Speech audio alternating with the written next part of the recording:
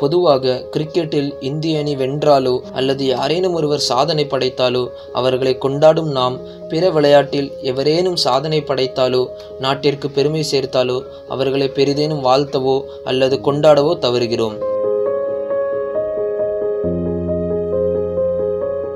இந்த பெல் ஐகானை கிளிக் பண்ணுங்க. உங்களுக்கான வீடியோ வந்துகிட்டே இருக்கு. இன்று இவ்வாறே நாம் கொண்டாட தவறிய ஒரு பெண்மணி மின்னல் வேக தடகள தங்க மகள் தனலட்சுமியின் கதையை பார்ப்போம்.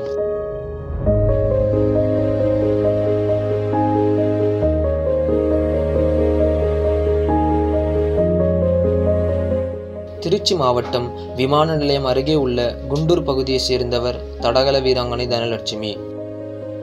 தனலட்சுமியின் பதினைந்தாவது வயதில் தந்தை சேகர் காலமானார்.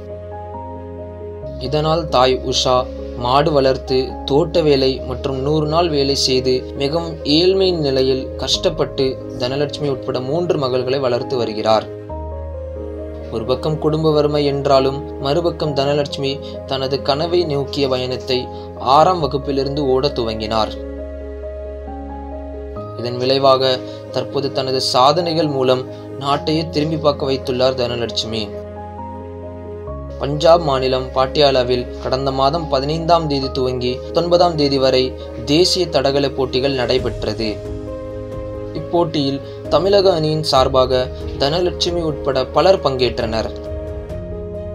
இப்போட்டியில் பெண்கள் பிரிவில் நடந்த நூறு மீட்டர் ஓட்டத்தில் பல முன்னணி ஜாம்பவான்களான சர்வதேச வீராங்கனை டுட்டி சந்த் ஹீமா தாஸ் ஆகியோரை பின்னுக்கு தள்ளி நூறு மீட்டர் தூரத்தை பதினோரு புள்ளி மூன்று ஒன்பது வினாடிகளில் கடந்து தங்கம் வென்று சாதனை படைத்தார். இதனை அடுத்து நடந்த இருநூறு மீட்டர் தூரத்தை மின்னல் வேகத்தில் இருபத்தி மூன்று புள்ளி இரண்டு ஆறு வினாடிகளில் கடந்து தனலட்சுமி வெள்ளிப் பதக்கம் வென்றார். இதன் மூலம் இருபத்தி மூன்று ஆண்டுகளுக்கு முன் பி டி உஷா நிகழ்த்திய இருபத்தி மூன்று புள்ளி மூன்று வினாடி சாதனையை முறியடித்து வரலாற்று சாதனை படைத்தார் தனலட்சுமி. தற்போது தேசிய தடகள போட்டி மூலம் நாட்டையே திரும்பி பார்க்க வைத்த தனலட்சுமி முன்னதாக பல்வேறு போட்டிகளில் பங்கேற்று தனது வீட்டை பதக்கங்களால் அலங்காரம் செய்துள்ளார்.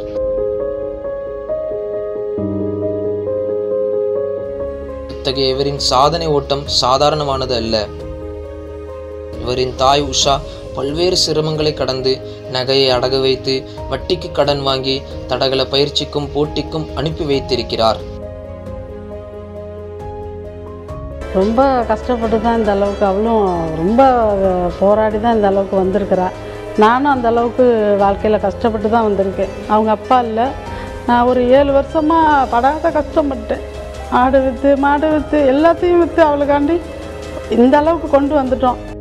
இந்த மின்னல் வேக புயலை நாமும் பாராட்டி மேலும் பல சிகரங்களை தொட வாழ்த்துவோம்.